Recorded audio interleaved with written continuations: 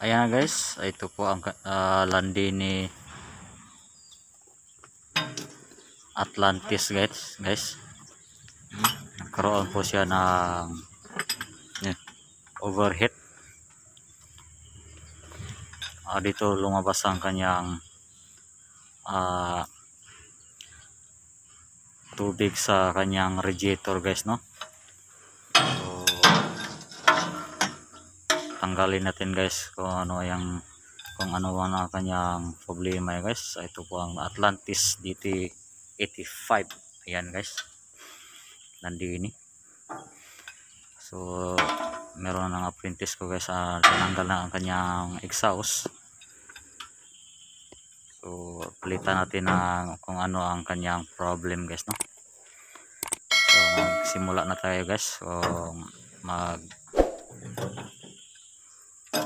open ng head gasket o head cylinder. Ayan na guys. Pag i-start siya guys uh, ganito ang kanyang sitwasyon guys no? May lumabas dito sa radiator guys. Ayan. Dito natin makikita ang kanyang tubig. So i-start natin guys. Mag remove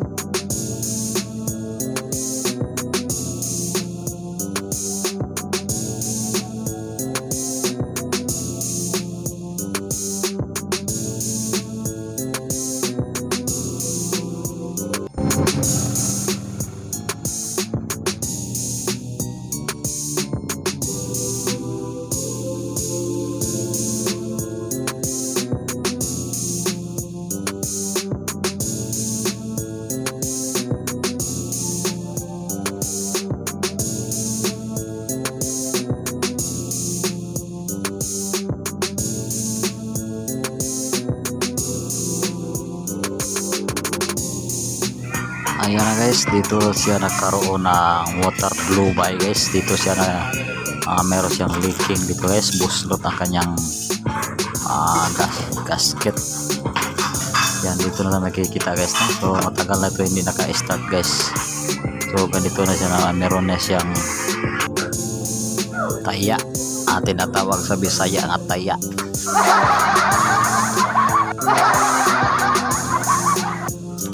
ayan natayaan na so ito na ang kanyang uh, new gasket guys no? At ano dito na rin ang kanyang head cylinder. So start na tayo mag taon so guys magtaon na ta guys no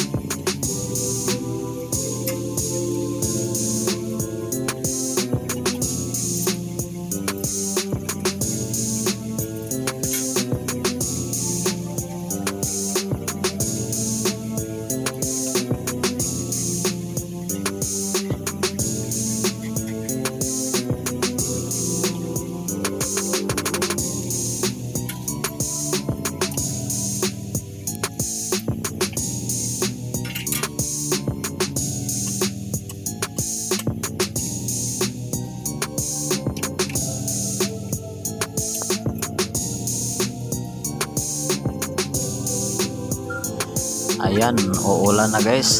Darating ng ulan guys.